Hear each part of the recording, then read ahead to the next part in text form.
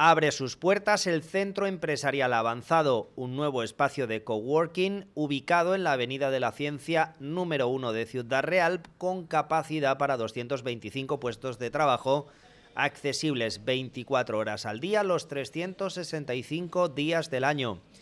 Este nuevo centro de trabajo cooperativo ha sido promovido por el conocido empresario ciudadrealeño José Luis Del Hoyo. Este proyecto, más que un conjunto de instalaciones,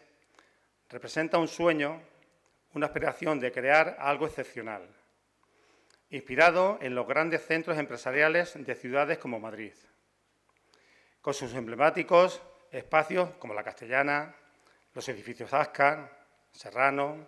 Gran Vía, José Abascal, etc. Tenía una visión clara de lo que quería para nuestra ciudad real.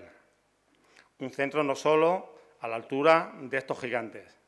sino único en, su esencia y propósito. El acto de inauguración ha contado con una nutrida representación institucional, así como del tejido empresarial de la ciudad, que ha podido conocer en primera persona las nuevas instalaciones con las que se espera se pueda dinamizar más la actividad económica de la capital de la provincia. Donde un empresario, dándole vueltas a la cabeza, mirando lo que se hace en otros sitios, mirando las necesidades que tiene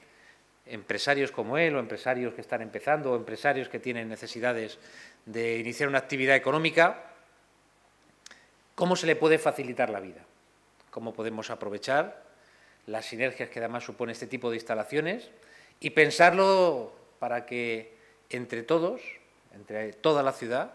entre los empresarios, entre los emprendedores, pero también con la colaboración de las administraciones, consigamos dinamizar una ciudad que necesita mayor actividad económica.